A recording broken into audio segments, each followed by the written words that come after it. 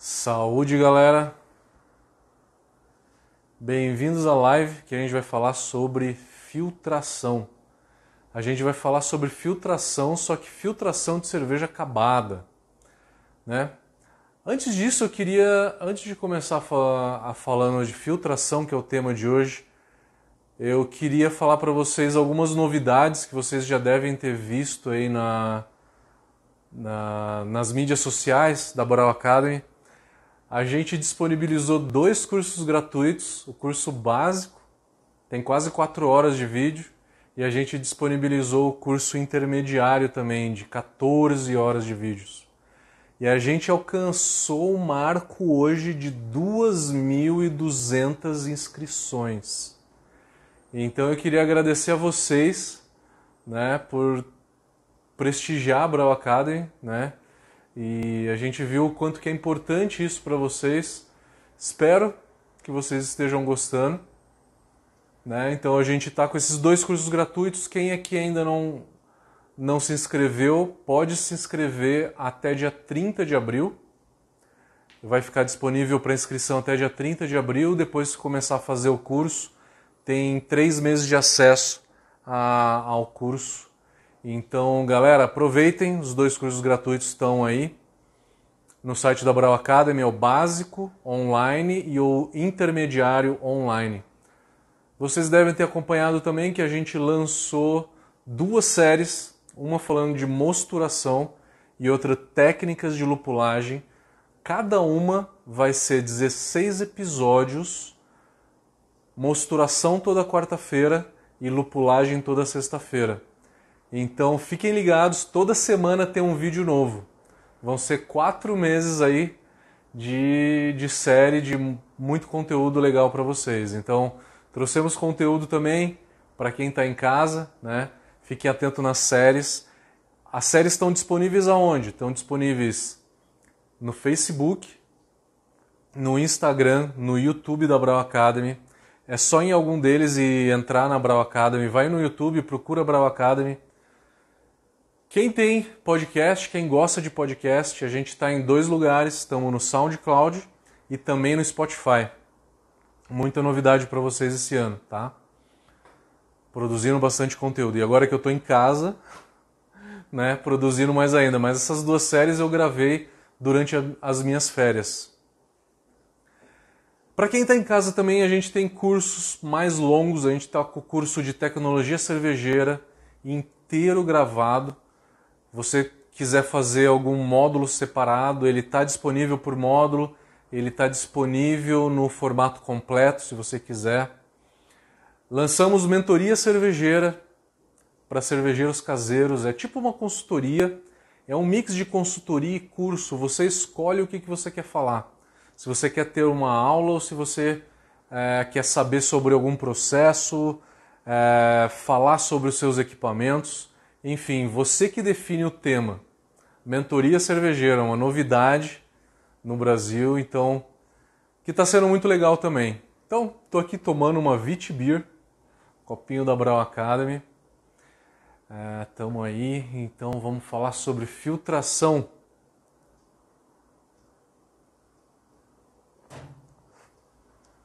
Só deixando claro que filtração que a gente vai falar hoje não é o que muita pessoa confunde com a etapa de clarificação, tá? Na literatura, você chama essa etapa aonde tem o fundo falso e aonde que a gente retira os grãos de clarificação. Mas no jargão popular, muita gente chama essa etapa de filtração, que não deixa de ser um tipo de filtração, porque a gente usa as camadas dos grãos né, para fazer uma filtração do, do próprio mosto e reduzir a turbidez. Então não deixa de ser uma filtração também a clarificação. Mas o tema de hoje é falar sobre filtração de cerveja, que ela é no momento do invase, é da cerveja pronta. Então, e por que, que eu escolhi esse tema? Porque é, é um tema que talvez seja mais importante para cervejarias, né? E a gente vai trazer também informação de cervejaria de grande porte. Então, tem muita gente que tem curiosidade de saber como que é o mundo de uma cervejaria de grande porte. Ou se você é caseiro, tem interesse em saber como é que é a, o mundo de uma micro cervejaria. E a filtração ela acontece numa micro cervejaria. Vamos falar, coloquem todas as suas perguntas, tem alguém aqui de micro cervejaria, o que, que você faz, né? Tem muita gente que usa produtos, vamos falar de adjuntos, vamos falar tipos de filtração, como que o caseiro faz, o caseiro gelatina, né? Eu vi que tem muita pergunta aqui falando sobre gelatina. Não tem como dar essa aula sem meu tablet, né? Minha colinha, que aqui eu pego a, a, a nossa aula de finalização. É um módulo chamado finalização que a gente tem dentro do curso de tecnologia cervejeira. E sou eu que dou a aula, né? Então, um assunto que que eu passo bastante com os alunos. Vamos lá. A primeira coisa que a gente tem que saber sobre filtração é qual que é a finalidade da filtração numa cervejaria. Remover microorganismos talvez seja a primeira. Microorganismos, eu estou falando microorganismos vivos, tá? Prim... o primeiro objetivo seria remover microorganismos vivos que são leveduras e bactérias. A primeira coisa levedura ela é bem maior do que a bactéria. Ela é realmente muito grande. Ela tem de 4 micra a 12 micra. Então toda filtração que a gente tem em qualquer cervejaria, tá? Vai tirar as leveduras. Porém as bactérias, elas são realmente pequenas, porque são organismos muito mais simples, onde que não tem núcleo estruturado é uma célula muito menor e que é muito mais difícil a gente retirar da cerveja. Por que, que a gente quer tirar bactérias e leveduras da cerveja? Quem está assistindo, pelo menos, se é uma micro cervejaria, pelo menos já fez cerveja em casa algum dia. E você sabe que a cerveja em casa, se você guardar ela ali a temperatura ambiente e você abrir ela daqui a seis meses, o que, que aconteceu com ela? Vai estar tá espumando. Pode ou não estar tá com uma leve acidez, bolhas finas, né? perde a cremosidade do malte, perde aroma do lúpulo. Se a levedura que fez isso, por que, que ela fez isso? A levedura ela come todo monossacarídeo e todo disacarídeo. Eu estou falando de glicose e frutose, eu estou falando de sacarose e maltose, que é o disacarídeo. E depois ela vai para o trissacarídeo, que é a maltotriose. São pouquíssimas leveduras que comem 100% da maltotriose. Uma delas é a WB06 ela zera a maltotriose. Ela realmente elimina toda a maltotriose. A gente acha que a, que a Weiss, que é a cerveja de trigo, ela é uma cerveja doce, mas ela não é uma cerveja doce. A gente tem a percepção de que ela é uma cerveja doce porque ela tem um frutado, um perfil sensorial que remete à banana, que isso vem da levedura. Mas a cerveja ela é realmente seca. A WB06, então, é uma levedura que zera a maltotriose durante a fermentação. Mas e a atenuação da WB06 é por volta de 82 a 84%. A atenuação aparente da WB06, que é a cepa que a gente usa para fazer Vais, talvez a mais conhecida. Não a melhor, mas talvez a mais conhecida porque é uma levedura seca, enfim. Você faz a sua IPA, que usa uma US05. Um exemplo muito clássico, né? Por isso que eu peguei o S05. O S05 não come toda a maltotriose. Come todo monossacarídeo e come todo bis disacarídeo, tá? Mas a maltotriose ela ainda deixa um pouco. Você armazena a cerveja, invasa ela, daqui a um mês a levedura que está dentro da garrafa, que não comeu toda a maltotriose, ela é capaz de comer a maltotriose, mas ela não comeu toda a maltotriose durante a fermentação. Um mês depois de envasado, carbonatou, deu priming na tua cerveja. Essa levedura ela vai acordar. Ela vai acordar e vai querer comer, como qualquer ser vivo. Ela vai encontrar maltotriose que ela consegue comer. Porque ela já consumiu todo o monossacarídeo, ela já consumiu todo disacarídeo. O que, que a levedura vai fazer? Vai consumir maltotriose e na hora que você abrir essa cerveja, ela vai estar tá espumando um pouco além do que ela estava quando ela tinha 10, 15 dias de, de, de garrafa, né? Então é isso que acontece por conta da levedura, da levedura especificamente. A levedura ela vai voltar a fermentar e a comer os açúcares, alguns açúcares que ela não comeu durante a fermentação e com isso vai dar um gushing. Não vai ser um gushing que vai subir aquele chafariz até o teto, né? Vai ser uma leve espumada para fora. Mas você não vai conseguir servir a cerveja direito, enfim. Todas as lives eu vou fazer tomando uma cerveja agora, porque na última live eu vi o que, que aconteceu com a minha voz. Começou a sumir e eu engasguei e minha voz realmente sumiu, desapareceu. É... Então vamos lá. Continuando. Por que, que eu quero. Eu não quero os micro. as leveduras dentro da minha cerveja. Porque depois ela volta a fermentar e vai dar gush na minha cerveja. Por que, que eu não quero as bactérias? Porque a bactéria ela vai comer também açúcares que sobrou na da fermentação, porque a bactéria ela é mais atenuante ela come mais açúcares do que a própria levedura, só que o que a bactéria produz vai ser uma certa acidez. A cerveja ela vai ficar um pouco crisp, um pouco picante, um pouco ácida. E aí estragou o perfil sensorial da cerveja, além de dar gushing. Então é por isso que eu quero eliminar os micro-organismos da cerveja, seja levedura ou seja bactéria.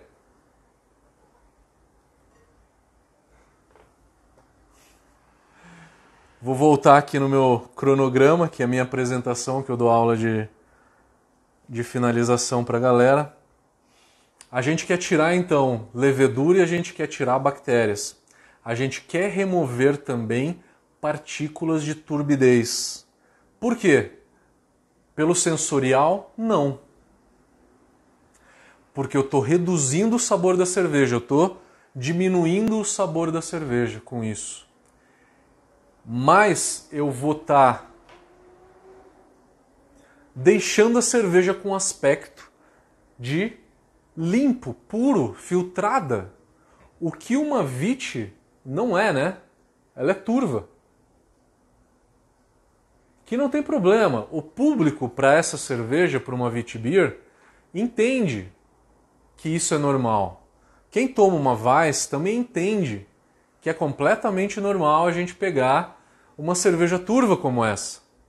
Mas a gente conhece muito aquele público tomador de Skol e de Brahma, que ele é enganado que a água melhora a cerveja, né? E tem gente que acredita que cerveja feita com gelo da Antártida é melhor, e aí vendem garrafas por mil, dois mil, três mil dólares cada uma delas. Enfim, a cerveja filtrada, o aspecto dela é importante para esse público. Então, se você está fazendo uma cerveja para apresentar para um público que não entende muito bem a cerveja artesanal, não entende o que está aqui, o que, qual que é a diferença, quais são as substâncias que tem na cerveja turva ah, para uma cerveja filtrada. Aqui eu tenho proteínas. Quando eu filtrar a cerveja, eu vou tirar proteínas e polifenóis. Vou falar isso um pouquinho mais para frente, tá? Eu tiro proteínas e polifenóis que dão sabor na cerveja, que dá esse sabor de pão líquido, que é um jargão muito comum que a gente tem no mundo cervejeiro. Então, na hora que a gente filtra, a gente tira essa sensação de pão líquido, a cerveja fica mais aguada. Aguada não é palavra porque aguada é uma. denigre o... a cerveja. Vamos dizer mais refrescante, né? Ela fica mais leve, você reduz o sabor do malte na cerveja. Então é por isso que a gente filtra a cerveja. As consequências de filtrar a cerveja. Depois de filtrar a cerveja, a densidade dela vai cair e vai cair muito pouco. Realmente muito pouco. Se a FG da cerveja era 1008, ela vai cair para 1007 no máximo, tá? A gente reduz o amargor dela. E isso eu consigo falar bem porque é minha praia, tá? Estudando amargor há bastante tempo. Reduz de 1,5 a 2% o IBU da cerveja quando ela é filtrada, porque o alfa-ácido ele para né, na, na filtração. A ideia não é tirar o amargor, é uma consequência, ele acaba parando lá. Se eu retiro proteínas e polifenóis, eu vou retirar cor. São pigmentos de cor da cerveja. A cerveja ela fica um pouquinho mais clara. Não deve dar um EBC a menos de cor, tá? A gente perde sabor sensação de cremosidade, pão líquido, que nem eu falei. Se eu retiro proteínas na hora que eu filtro a cerveja, eu prejudico a espuma? Pergunta. Não. Por quê? Porque quando eu filtro a cerveja, eu retiro proteínas de alto peso molecular. Quais são as proteínas que dão retenção de espuma? de médio peso molecular. Então eu não interfiro na espuma, tá? Interfiro um pouquinho, tá? Mas não é o ponto de falar assim, prejudiquei bastante a minha cerveja por conta disso.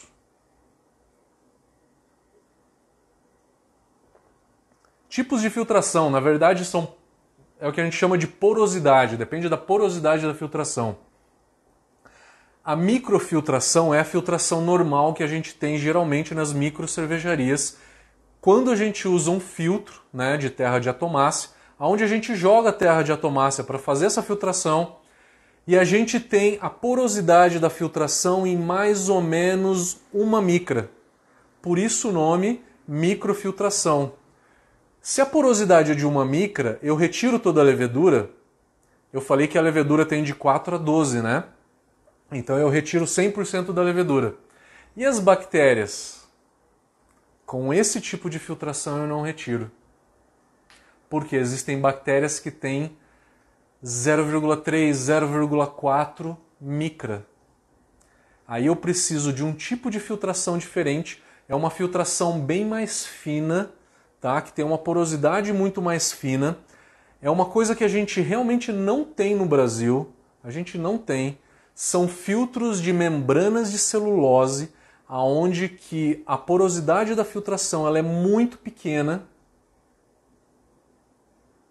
e eu consigo retirar não só a levedura, mas eu retiro também as bactérias. Se eu fiz uma filtração estéreo, isso quer dizer que eu esterilizei minha cerveja. Eu tirei basicamente todos os micro-organismos que vão degradar minha cerveja. Cerveja Pilsen alemã, ela é pasteurizada? Pergunta. Não. Qual que é a técnica deles? Eles fazem uma filtração, eles fazem duas filtrações. É, passam num filtro de terra e depois passam no filtro estéreo.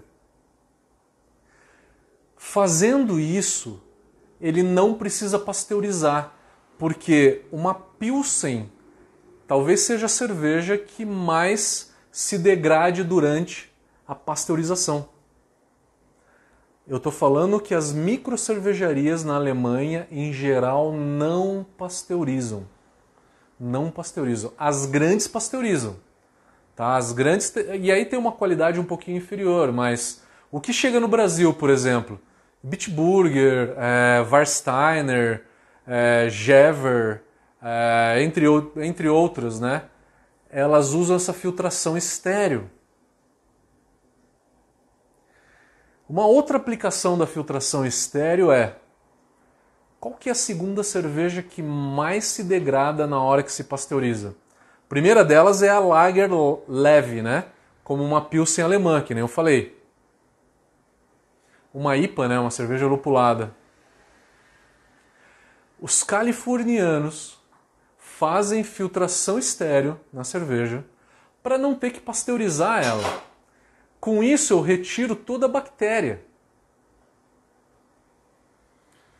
Pasteurização é uma outra coisa, a gente vai falar, se eu não me engano, é na próxima live a gente vai falar de pasteurização e eu vou voltar nesse ponto, tá? É, pasteurização tem basicamente duas funções. Uma delas é dar estabilidade microbiológica, que é tirar todos os micro-organismos. A segunda delas é dar estabilidade química, que é a segunda, tá? É o choque nas partículas para estabilizar quimicamente a cerveja.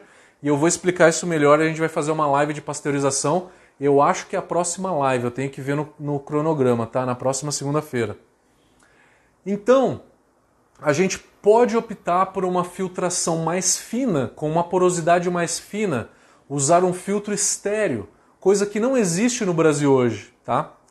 É, um, uma das dos porquês que eu estou fazendo essa live sobre filtração é para trazer informação que vocês geralmente não vão ver né? Porque a gente vive ali no meio de caseiro, de micro cervejaria, enfim, e acaba não tendo acesso a essas informações. Então, para vocês saberem, a Alemanha faz essa filtração estéreo, não pasteuriza, as IPAs americanas também. É... E a escola inglesa? Não pasteuriza. Faz filtração?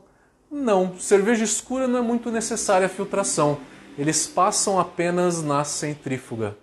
Acabou é a coisa mais simples do mundo, né? Quem algum dia já mexeu com filtro de terra de atomácia sabe o parto que é filtrar uma cerveja.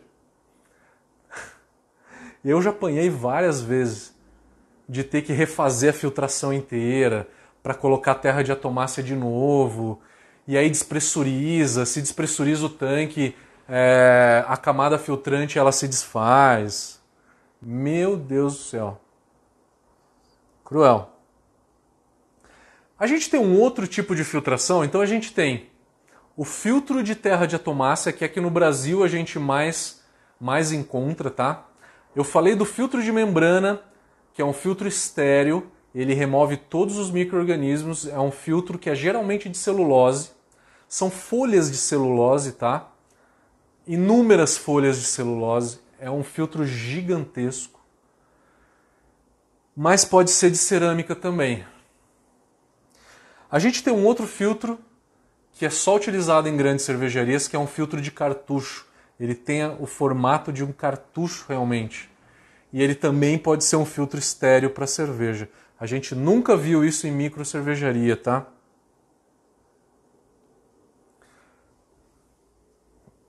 Sem ser a filtração na cerveja, o que, que a gente pode fazer a não ser a filtração?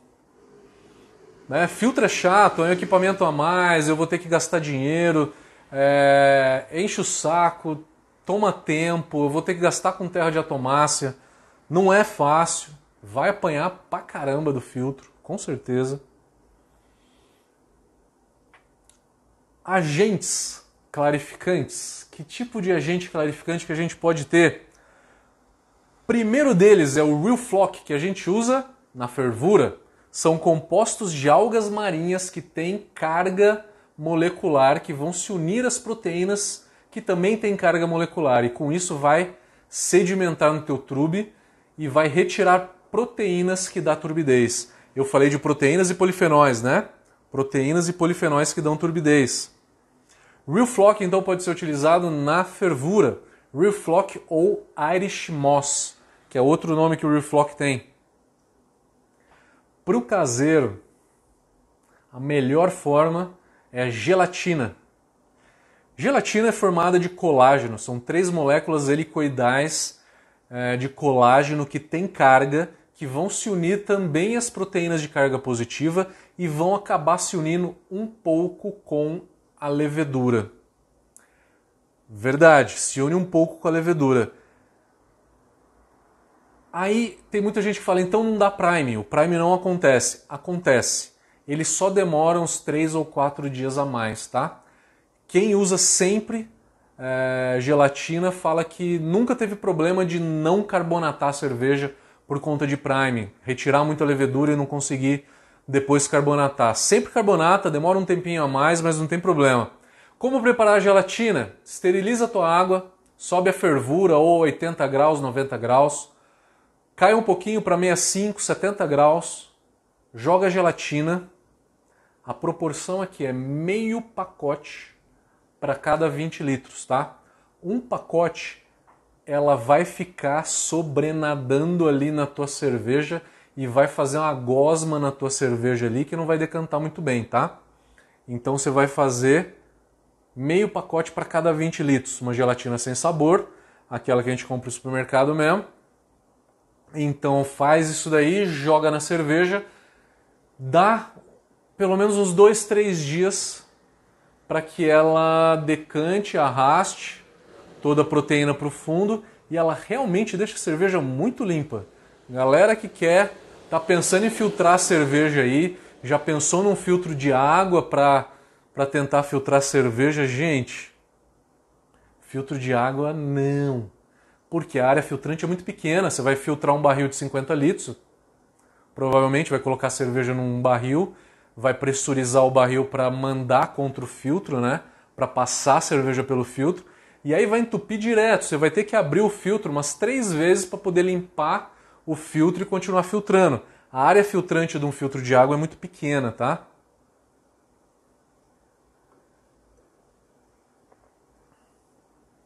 Outros agentes para cervejaria daí, mas a gente também acha para micro cervejeiro. Biofine.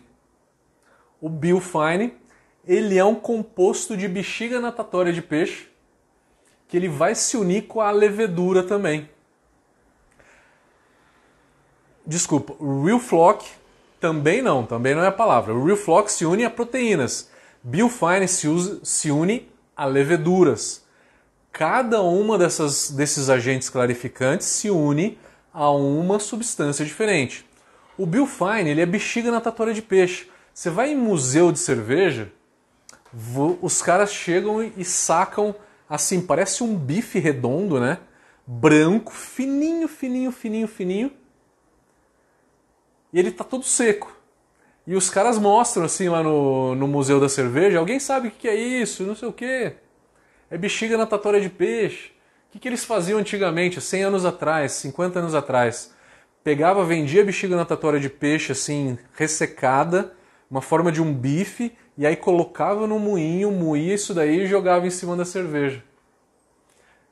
Eu vi isso no museu, um museu na Inglaterra. Ficou muito legal, muito legal realmente. O Biofine, ele tem carga positiva, que se une à levedura que tem carga negativa. Quando a levedura não está digerindo açúcares, não está passando açúcar pela parede da levedura, ela fica com carga.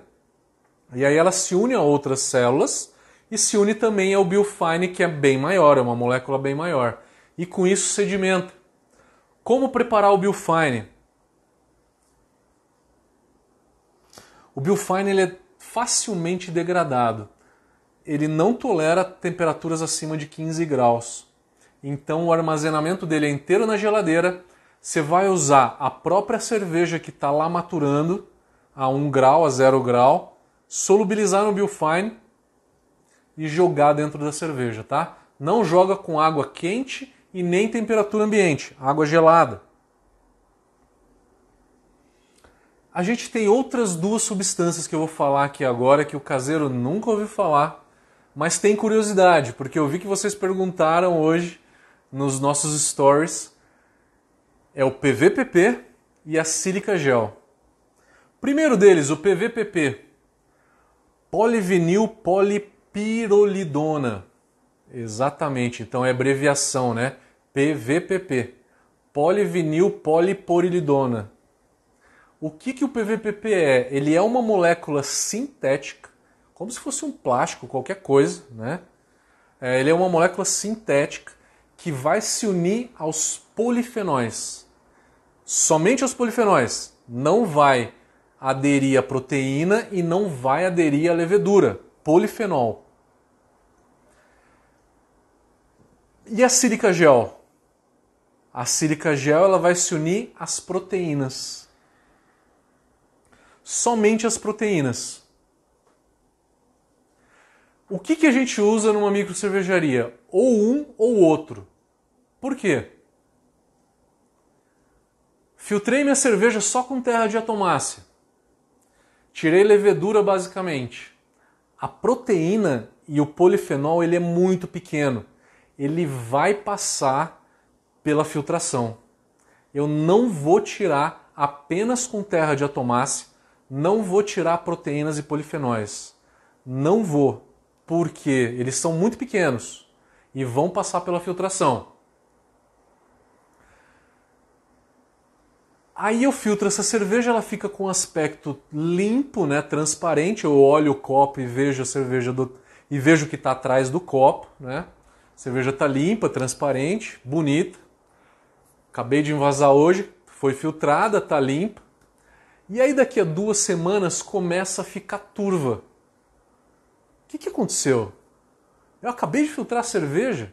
Quando eu envasei, ela estava limpa. O que, que ela ficou turva? é o que a gente chama de Shield-Haze. O que é o Shield-Haze? As proteínas e os polifenóis que estão ali é uma proteína e um polifenol específico, né? A prolina, que é a, a proteína, e o flavantresol, que é o polifenol. Eles vão se unir por carga, porque eles têm carga. Então a cerveja, quando está fria, eles se unem. E aí, e aí vai fazer uma cadeia de proteína, polifenol, proteína, polifenol, proteína, polifenol vai acabar fazendo uma longa, extensa cadeia de proteína e polifenol. Isso acaba virando uma molécula grande que acaba sendo visível, dando turbidez na cerveja. E aí, por que, que ela chama shoehaze? Porque neste momento, aonde que está começando a envelhecer a cerveja ainda, essa ligação ela é fraca. Na hora que eu esquento, ela se desfaz na hora que a cerveja esquenta, né? na hora que ela chega a 20 graus. O churrasco acontece abaixo de 7 graus. Na hora que chega a 20 graus, ela se desfaz. A cerveja vai envelhecendo e essa turbidez que antes ela era temporária, ela vira permanente. E aí ela se forma frio e a quente ela não se desfaz para que eu não tenha essa turbidez na cerveja, eu posso retirar ou o polifenol ou a proteína, apenas um. Se eu só tenho proteína, essa cadeia longa não se forma. Eu preciso de proteína polifenol, proteína polifenol, um na sequência do outro, um ligado linearmente no outro, né? Se eu retiro só as proteínas ou só os polifenóis, essa cadeia não se forma na cerveja envasada. É por isso que a gente usa em cervejaria grande ou micro cervejaria que tem esse propósito realmente de deixar a cerveja muito limpa, né? Se preocupa com esse aspecto, tá? Usa sílica gel junto com a terra de atomácia ou PVPP, ou um ou outro. Qual que é melhor? Tanto faz o resultado é o mesmo. Você vê a maioria das cervejarias, metade usa PVPP e metade usa sílica gel. Então ninguém tem um consenso muito claro sobre qual dos dois que é melhor, tá? Qualquer um dos dois. Eu talvez eu fique um pouquinho mais propenso ao PVPP, porque o polifenol, polifenol ele tem um sabor de casca meio picante. Se eu tiro o polifenol, eu deixo a proteína e a proteína dá um sabor de cremosidade, né? O pão líquido.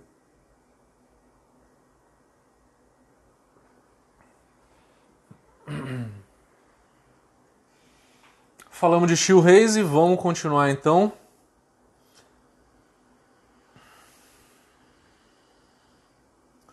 Se você é uma micro cervejaria, se tem alguém aqui de micro cervejaria, é, deve estar se perguntando assim: eu vou usar gelatina, não quero ter um filtro, eu não quero filtrar cerveja porque é, demora tempo, eu vou ter que investir dinheiro no filtro, eu vou ter custo com terra de atomácia, como é que eu faço?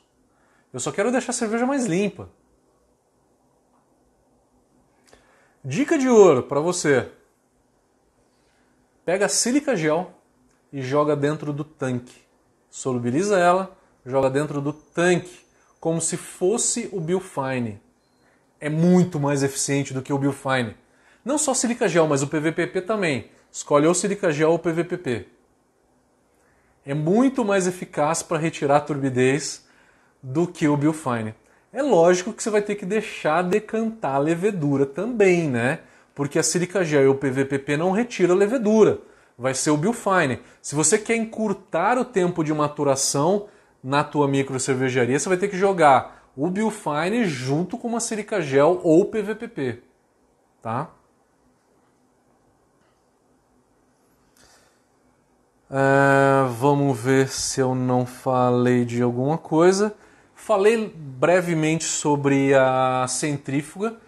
A centrífuga, ela, ela não é um tipo de filtro, mas pode ser considerado um, um tipo de filtro porque tira a, tira a turbidez, né? tira um pouco da turbidez da cerveja. Os ingleses usam como uma única forma de filtração. Eu conheço algumas micro cervejarias no Brasil que estão utilizando apenas a, apenas a centrífuga como uma forma de filtração. Porque se você usar a centrífuga num fluxo, né, é, num fluxo bem lento, um pouco mais lento do que o normal, você acaba limpando bastante a cerveja, deixando ela tão limpa no aspecto de cerveja filtrada que o aspecto visual já é de cerveja filtrada, mas eu não retirei proteínas e polifenóis ainda da cerveja, que eu deixei com sabor à cerveja. Só que a centrífuga ela não elimina a possibilidade de ter o haze. Então, escolher o tratamento que você vai dar na cerveja vai depender do teu propósito. Se você é o caseiro, é lógico que tudo é teste, né? Mas se você é micro cervejaria, o propósito vai ser de acordo com o público para quem que você está tá produzindo a cerveja, para quem que você está vendendo, né? Deixa eu ver se tem mais alguma coisa aqui. Não dá para dar aula inteira de filtração para vocês, tá? Eu estou trazendo apenas os conceitos básicos.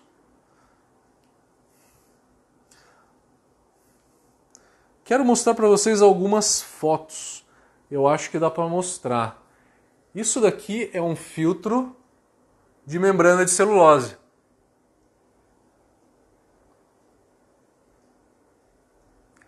Tá vendo que são várias folhas de celulose prensadas uma na outra? A cerveja passa uma vez apenas pela folha de celulose. Só que a porosidade é tão fina que acaba retendo até bactérias, tá?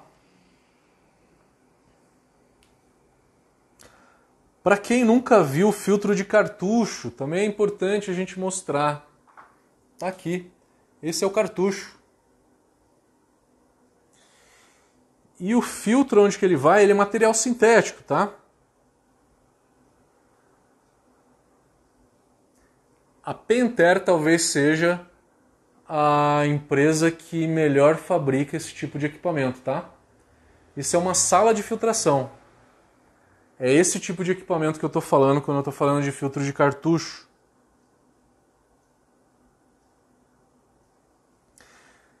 Última substância que a gente pode jogar na cerveja. E aí a gente vai para as perguntas. Que eu vi que tem bastante pergunta rolando. Quem quiser aí já pode ir colocando as perguntas no chat que a gente vai passando nas, no chat daqui a pouco.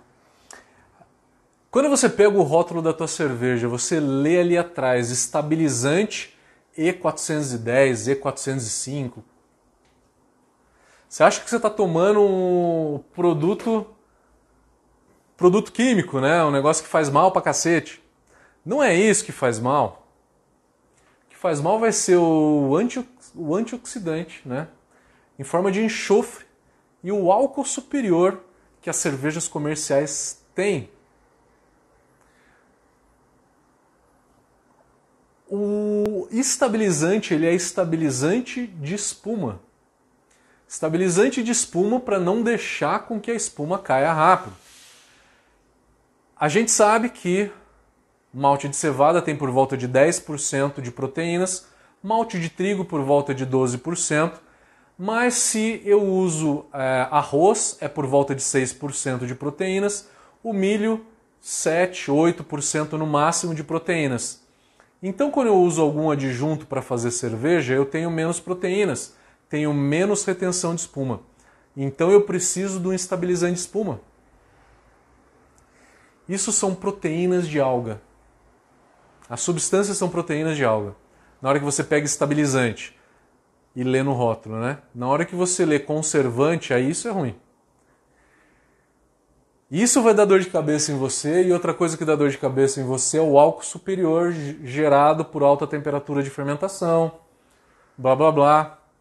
Inclusive, galera, criei um curso, um webinário, na verdade, para falar sobre fermentação pressurizada. Por que, que eu criei? Porque eu fiz uma live sobre cervejas comerciais. Tava lá na Filipinas, na ilha de Boracay, eu lembro certinho. Foi uma das lives que a gente mais teve audiência.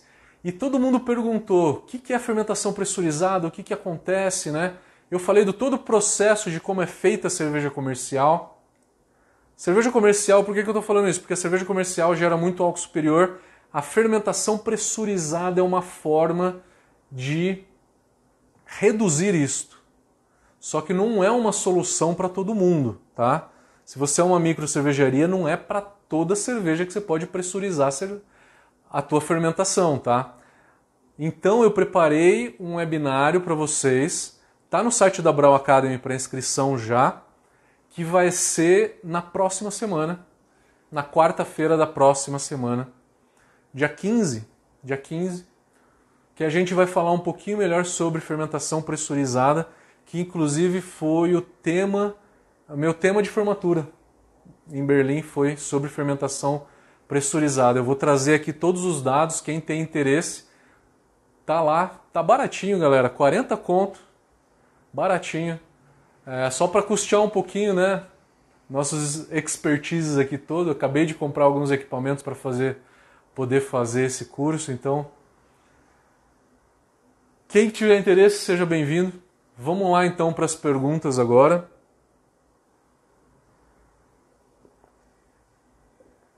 Uma semana depois, no dia 22 de abril, 22 e 23 de abril, a gente vai ter o curso de elaboração de receitas também online. Eu vou para o Instagram primeiro, porque o Instagram geralmente ele cai com uma hora, né? A gente já viu isso algumas vezes, quem acompanha a gente aí. Né? Eu falo demais, acabo sempre passando uma hora. Né? Galera, eu não vou dar oi para todo mundo, eu vou direto para as perguntas porque tem muita pergunta, tem bastante gente aqui. O Yuri está perguntando: sou caseiro e não faço nada além de maturar. Não faço ideia sobre filtração. Quando você quiser dar um passo além, usa gelatina, meio pacotinho de gelatina para cada 20 litros. Solubiliza essa gelatina numa água a 65 graus, joga dois dias do final da, da maturação. Se você quiser ter a experiência, eu acho que toda experiência sempre é válida, de tentar fazer essa fermentação, essa cerveja mais limpa, né?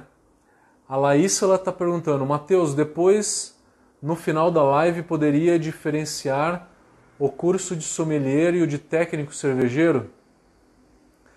O curso de sommelier tem 100 horas e a gente degusta 100 rótulos. O enfoque dele é você conhecer os estilos, não só os estilos, mas a história desses estilos, o porquê que vem, né, desse estilo, porque o estilo em parte ele é definido pela história daquele estilo, né?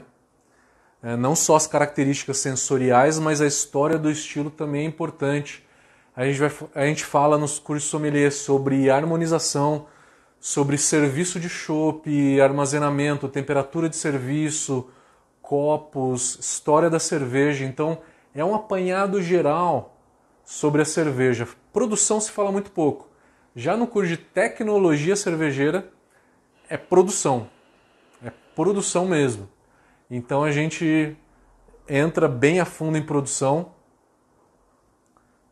E o curso de tecnologia já está online. Quem quiser fazer qualquer um dos módulos está no site da Brau.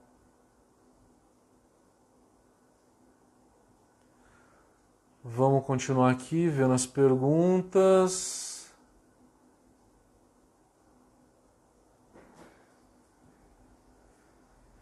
O pessoal está comentando sobre água de agudos. Água de agudos, a gente sabe que não faz tanta diferença assim, né? Outra pergunta da Laís, ela ela está perguntando: até o momento não entendi como que faz essa filtração quando se faz em casa. É, você deve ter perguntado isso a respeito da filtração com filtro de água, né? A única filtração que eu vejo possível fazer em casa é um filtro de água, aonde que você coloca a cerveja num barril, pressuriza o barril para que a cerveja seja pressurizada contra o filtro de água e aí com isso ela é filtrada pelo filtro, né, de água. Mas é mais fácil para o caseiro, gente. Vamos vamos usar uma gelatina que é bem melhor.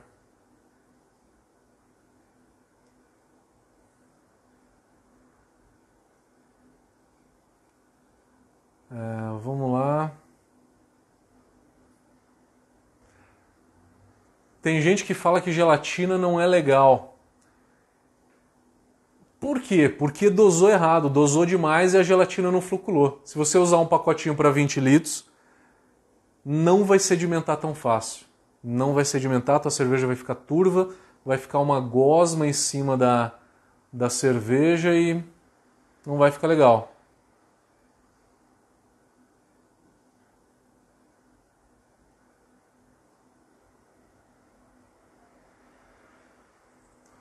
O Célio Hugo está falando que o filtro de cartucho também é utilizado em vinhos.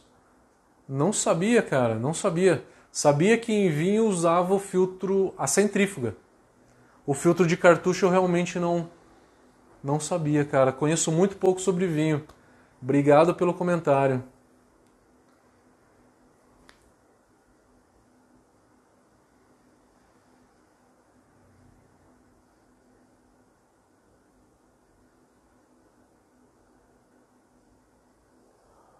O Celão, você está falando que você usa 12 gramas de gelatina para 20 litros?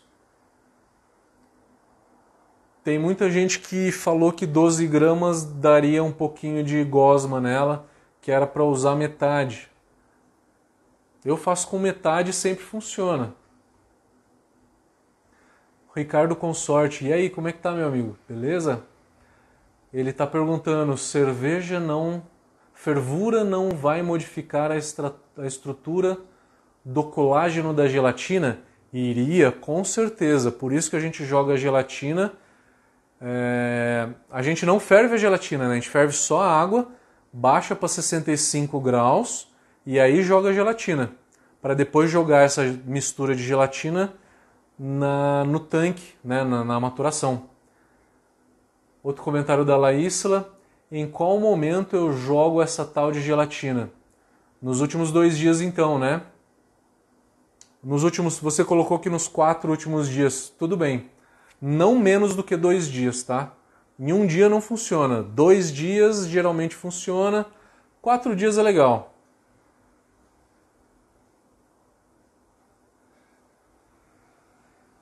Tem muita gente falando que três dias antes do final da maturação. Eu sempre trabalhei com três ou quatro.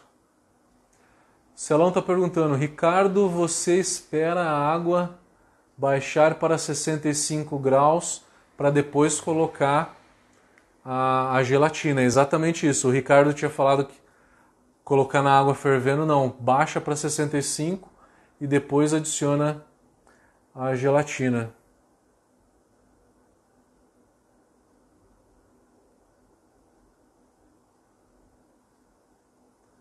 A 64, 65 graus então que a gente coloca a gelatina.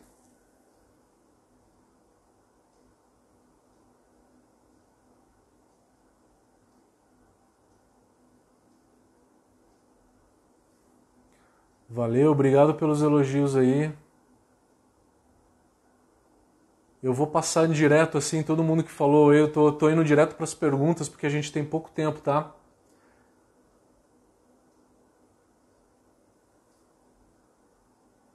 Como usar sílica gel? Cafetina Beers. É, tem uma dosagem, compra sílica gel, ela vem num pote.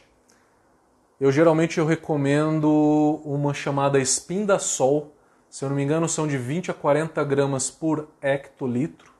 Ela vem em forma líquida, tá? E o fabricante é AEB Química. AEB. Spindasol com S. Começa com S. E aí você joga dois dias, dois ou quatro dias pro final da maturação. Solubiliza ela e joga dentro da maturação da mesma forma que você faz com a gelatina, tá? Você vai fazer isso com a sílica gel, pode fazer com o PVPP também, tá? PVPP pode ser aplicado no tanque também.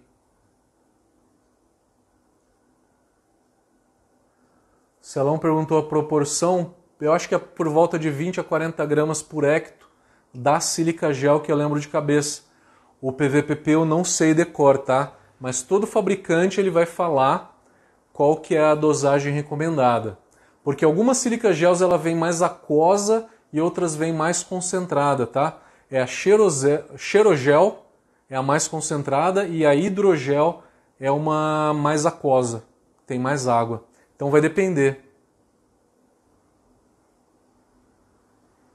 Obrigado pelo elogio, Laísla. Quem perdeu as lives, fica tudo gravado no YouTube e a gente sobe também agora nos podcasts. SoundCloud, e Spotify. Só entrar no SoundCloud, Brau Academy. E no Spotify também, Brau Academy, já aparece o podcast inteiro, tá?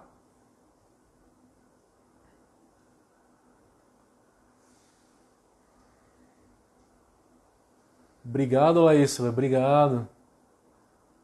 É...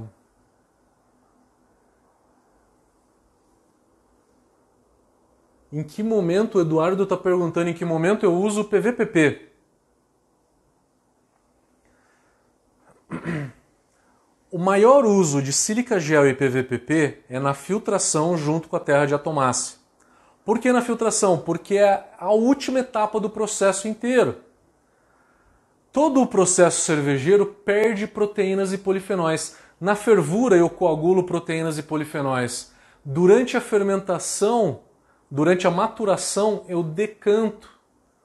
Maturação a frio, eu decanto proteínas e polifenóis. O momento em que eu tenho menos proteínas e polifenóis é no final da maturação. Se eu tenho menos proteínas e polifenóis no final da maturação, eu vou usar menos sílica gel e menos PVPP.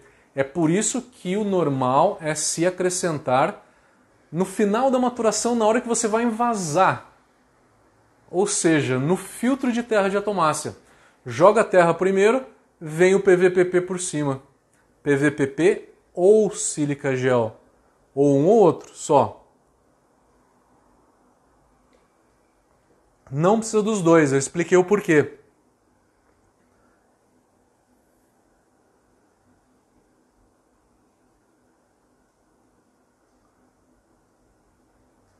Cerveja Duge está perguntando, Matheus, me dá uma dica como uma Vitibir no fermentador eu maturo a 14 graus ou baixo para 1? Boa pergunta. Tem muita gente que matura cerveja belga a 10, 12 graus. Por quê? Na hora que baixa para zero a cerveja não limpa muito mas ela limpa mais do que se ficasse a 10, 12 graus. Então, baixando para zero, você com certeza vai limpar mais a cerveja, mas não vai limpar o suficiente para ter uma cerveja muito limpa. Então, tem gente que matura essas cervejas a 10, 12 graus.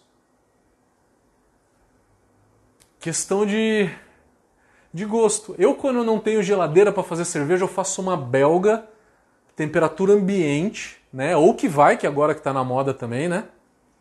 Uma belga ou uma Weiss temperatura ambiente e não maturo. não matura zero, se eu não tenho geladeira. É possível fazer, vai ficar legal. Por quê? Porque a temperatura de fermentação dessas cepas é mais alta.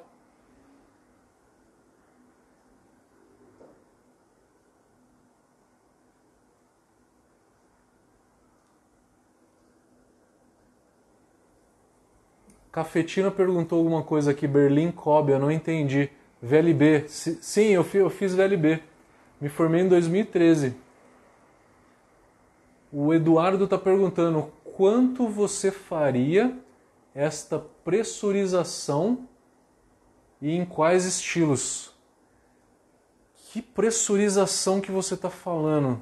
Você deve ter comentado de algum momento que eu estava falando, mas eu não lembro em que momento que eu falei, porque eu respondo tudo no final. Então, quando vocês forem fazer alguma pergunta, faz a pergunta completa para que eu consiga entender. Você está falando de fermentação pressurizada?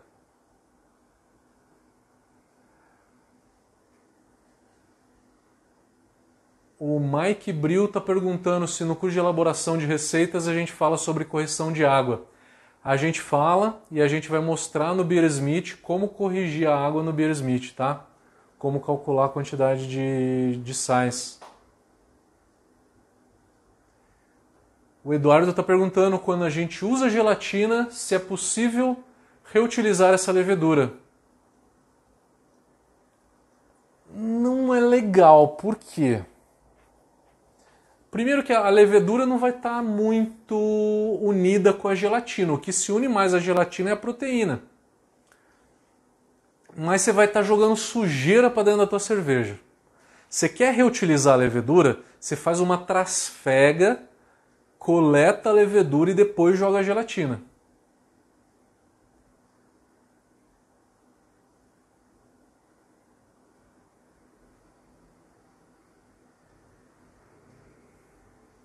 No fermentador cônico é mais fácil coletar a levedura pelo, pelo cônico, né? Se é o caseiro, tem que fazer uma trasfega.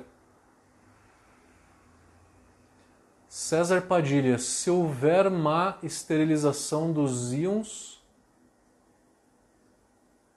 e a cerveja acaba ficando turva,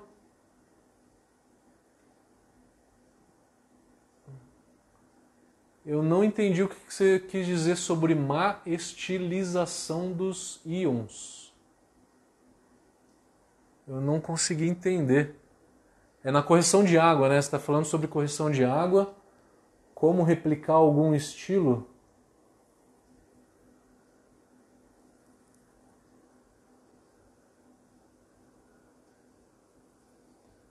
O Léo Freitas está perguntando: usei um pacote de gelatina para 20 litros e ficou e realmente peguei pelo excesso, ficou, ficou turva. Então tá aí mais um depoimento né, de uma pessoa que usou gelatina um pacote para 20 litros e ficou turva. Eu ouvi diversos depoimentos, tá? Por isso que eu sempre recomendo meio pacote para 20 litros, que é o que geralmente tem funcionado melhor. O Ezequiel está falando, e a gelatina líquida? Encontre em lojas para cervejaria. A quantidade eu não sei, o Ezequiel está perguntando a quantidade. Eu não sei te dizer porque eu nunca peguei esse produto. Mas eu tenho quase certeza que o fabricante vai te indicar, tá? Todo tipo desses produtos de adjunto, todo fabricante te indica a quantidade, tá? Ou o dono da loja da onde você comprou.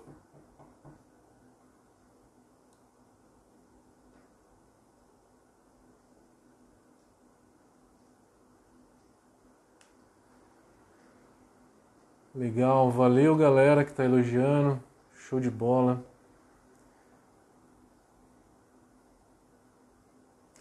A Lilian está perguntando se a gelatina vai bem numa bock.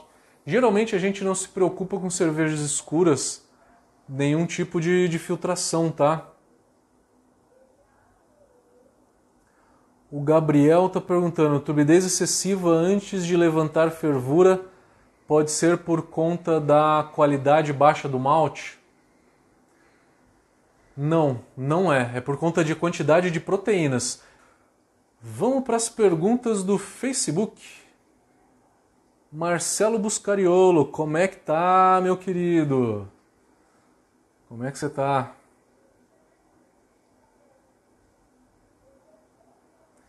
Eu tô rodando as perguntas agora do, do Facebook. Quem fez pergunta no Instagram e ainda não tem a resposta, poste de novo, por favor, que eu perdi todas as perguntas. Lucas está perguntando se filtração diminui o aroma do lúpulo. Lucas, na mesma casa do, do amargor, por volta de 1 ou 2%. Não mais do que isso, tá? Porque acaba pegando os óleos essenciais sem querer, tá? Reginaldo, Rust Beer. Boa noite, Matheus. Qual levedura você recomenda para uma cream ale e qual temperatura para fermentação? Reginaldo, para cervejas leves com perfil de fermentação neutro, que tem que ter uma Cream Ale, uma American Blonde, uma Kolsch, jamais usem o S05, porque ele tem o esterificado e de todas as American Ale, talvez seja o pior esterificado de todos.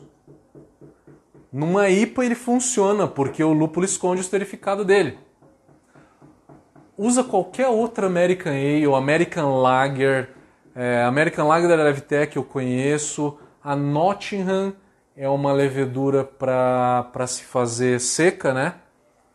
Para se fazer esse tipo de cerveja também, tá? Ela é mais neutra do que o S05. Gabriel Fleury perguntando por qual motivo não existe filtração estéreo no Brasil? Qual o preço do equipamento? Gabriel, eu acho que é por falta de conhecimento, cara. Eu acho que é realmente por falta de conhecimento. O brasileiro, ele, o primeiro conhecimento que ele que a gente aqui no Brasil a gente adquiriu de fora foi todas as técnicas de lupulagem. Hoje, quando eu dou um curso de lúpulo, eu falo com alguma cervejaria, a galera realmente adotou e entende que é, dry hop tem que ser a quente, é, toda microcervejaria tem um dispositivo externo para se fazer, para se colocar o lúpulo e se fazer a recirculação da cerveja no, no dry hop. Então, lupulagem o brasileiro aprendeu. Filtração não é um assunto tão importante que eu acho que a gente vai aprender num próximo passo, tá? Por isso que ainda não, não se tem conhecimento. A mesma coisa da, da, da pasteurização da Flash Pasteurization. No Brasil, pouca cervejaria usa, uma das primeiras foi a Tupiniquim, e agora algumas outras cervejarias estão começando a, a fazer esse tipo de pasteurização, tá? Então, é falta de conhecimento cervejeiro, realmente. O Reginaldo está perguntando: para cervejeiro caseiro, filtrar é uma utopia? Sendo assim, qual a melhor levedura para uma cream ale ficando mais limpa por decantação sem filtrar. Pode usar alguma dessas leveduras que eu te falei. Eu acho que eu respondi a tua, tua pergunta anteriormente.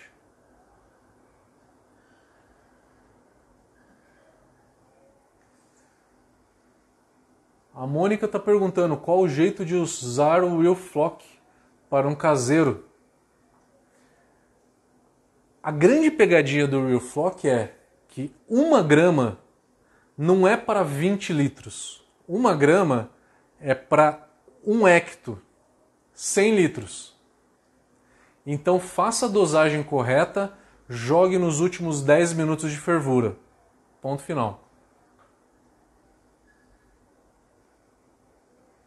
O Walter está falando que a concentração de cálcio ajuda na floculação. Exatamente, na floculação da fervura. Gustavo está perguntando, pessoal, estou no início do curso, no curso online de tecnologia cervejeira. Este final de semana dei uma olhada no conteúdo, muito top. Que legal, Gustavo, bacana. Os nossos professores são escolhidos a dedo. A gente toma muito cuidado na hora, na hora de colocar o conteúdo para vocês. A gente realmente tem muito feedback positivo é, a respeito da qualidade do, do nosso material e dos nossos professores, né? Roger Citra Lover pede para a galera usar outros lúpulos além de Citra. Deixem de ser vagabundos e vão experimentar. Roger, o Citra ele virou paixão mundial hoje, né? Ele tá meio que pegando o lugar do, do Citra, né? João Ming, como é que tá? Agradecendo, valeu. Vamos rodar agora o Instagram, ver as perguntas que eu não respondi.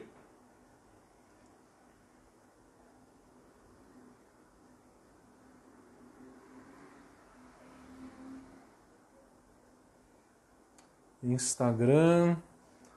O Eduardo está perguntando quando fazer a fermentação pressurizada.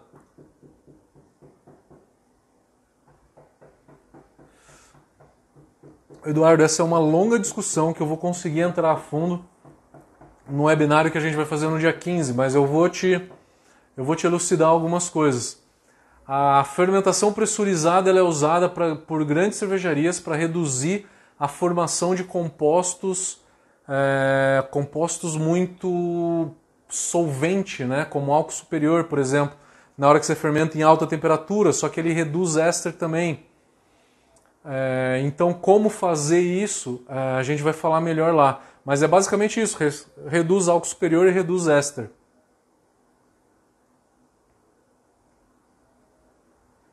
Rodrigo perguntando: o que, que você me diz do processo no chill? Rodrigão, vê uma, um, um vídeo que eu tenho no, no canal da Brown Academy. É um dos primeiros vídeos que eu gravei, foi no começo do ano passado, mas ele tá lá chama No Shield.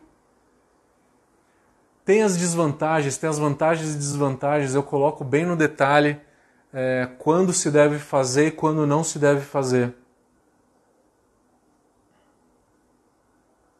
Desculpa não responder que a gente estourou o tempo, mas lá vai ter muito mais informação do que eu consigo te passar aqui agora, tá? Cervejaria Marimbondo, eu uso gelatina o uso de gelatina pode diminuir o aroma adquirido no dry hop? Não. Não adere com óleos essenciais. Pode reduzir um pouquinho, como na filtração, que a finalidade da filtração não é reduzir o aroma, nem reduzir o amargor, mas acaba arrastando um pouco e retirando na casa de 2%. A gelatina pode retirar um pouco também, mas não é relevante. Kazumba pode utilizar a gelatina para clarificação? Pode, com certeza. Para deixá-la com aspecto de filtrada, né?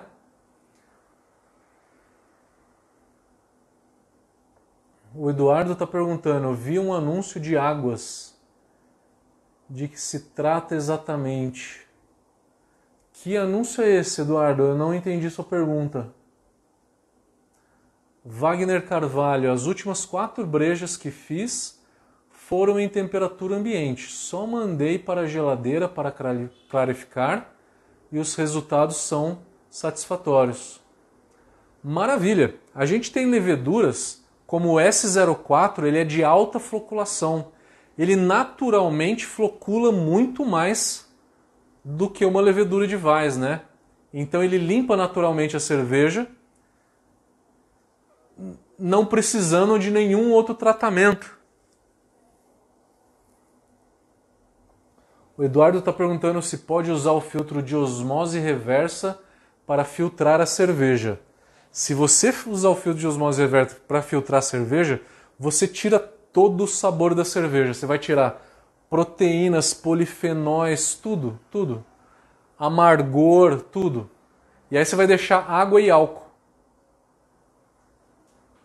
Eu acho que um pouco do álcool ainda é retido no filtro de osmose, tá?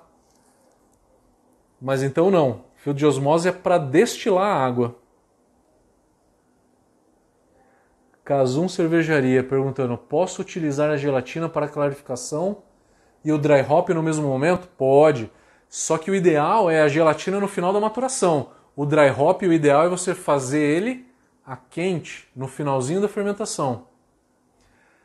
Gabriel. Pergunta do Gabriel: Vou fermentar uma Premium Lager com a American Lager da Levtech. Show de bola. Apenas um pacote feito. Apenas um pacote feito starter fermenta tranquilamente 20 litros? Tranquilamente seriam dois pacotes, tá? Tranquilamente seriam dois pacotes. A probabilidade com o starter um pacote fermentar é alta, mas tem um pouco de risco. O que você pode fazer é uma propagação, então.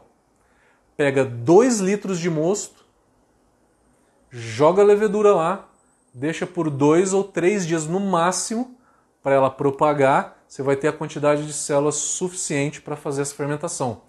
A diferença da propagação e do starter, o starter você vai usar 300 ou 500 ml de mosto só, tá?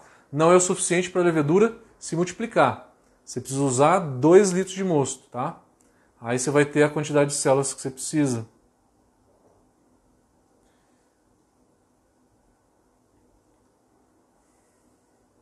Cervejaria Triple B.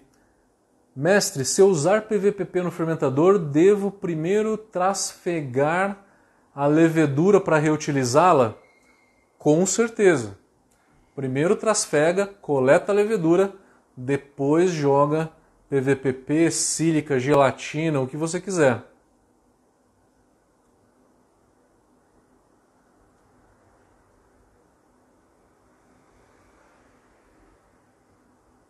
Casum Cervejaria está perguntando: pode utilizar a gelatina para clarificação e o dry hop no mesmo momento? Sim. Eu acho que essa pergunta eu já respondi. O Marcelo está pedindo para repetir a Real Flock por litro. 1 um grama não é para 20 litros, é para 100 litros. O que, que acontece se você joga 1 um grama para 20 litros? O efeito reverso, você turva mais a cerveja do que se você não jogasse. É um tiro no pé, né? É um tiro no pé.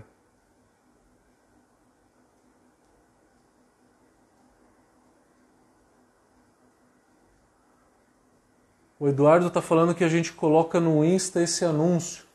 Seria o que? Seria o anúncio da. A gente coloca diversos anúncios. Cursos gratuitos, a gente coloca séries, o webinário de fermentação pressurizada também vai. Eu não entendi sua pergunta. Laísla, por que dissolver a gelatina a 65 graus? porque ela se dissolve melhor do que a temperatura ambiente, que é 20, 25 graus, que é a temperatura da, de torneira. Ela vai se dissolver melhor e aí você joga e ela vai estar tá mais solúvel. Célio Hugo falando, processo não vai ter cerveja limpa no hot break. Não entendi sua colocação, Célio. Perdão.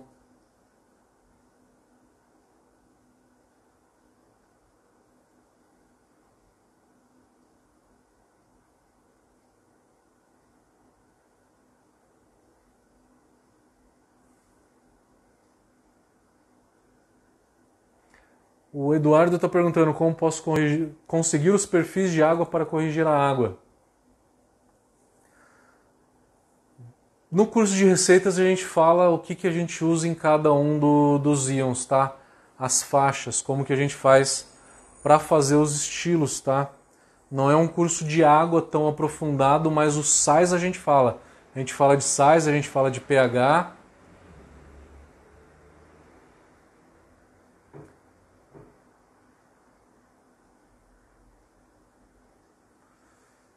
O Célio Hugo está perguntando: a galera quer no chill, no boiler. Todo mundo quer, né? Mas tem vantagens e tem desvantagens, né? Se a gente quer fazer uma cerveja melhor, a gente tem que ter um pouquinho mais de trabalho, né? Resfriar a cerveja, fazer o processo corretamente, né? Reginaldo está elogiando nossos cursos. Valeu, Reginaldo. Reginaldo fez o sommelier e o curso de tecnologia com a gente. Valeu. Última pergunta, Wagner Carvalho. Você poderia, por gentileza, falar sobre o shoehaze? Só recapitulando rápido, se você quiser saber um pouquinho mais, veja um vídeo que tem no, no YouTube da Brau chamado Tio Haze. Haze é formado por proteína, polifenol, proteína, polifenol, proteína, polifenol, tá? Se eu retirar somente as proteínas, essa cadeia não forma. Né? Então, sílica gel tira só as proteínas, PVPP tira somente os polifenóis e não forma essa cadeia toda na cerveja pronta que vai turvar a cerveja depois de pronta, depois de filtrada, tá? Invasei ela, ela tá limpa, filtrada e aí depois começa a formar essa turbidez. É por conta disso, tá? Valeu, galera. Vamos terminando por hoje. Audiência show de bola, campeã. Obrigado. Obrigado mesmo, de coração. Galera, vejo vocês segunda-feira que vem, religiosamente. Toda segunda-feira a gente está aqui trazendo muita informação bacana para vocês. Valeu, galerinha!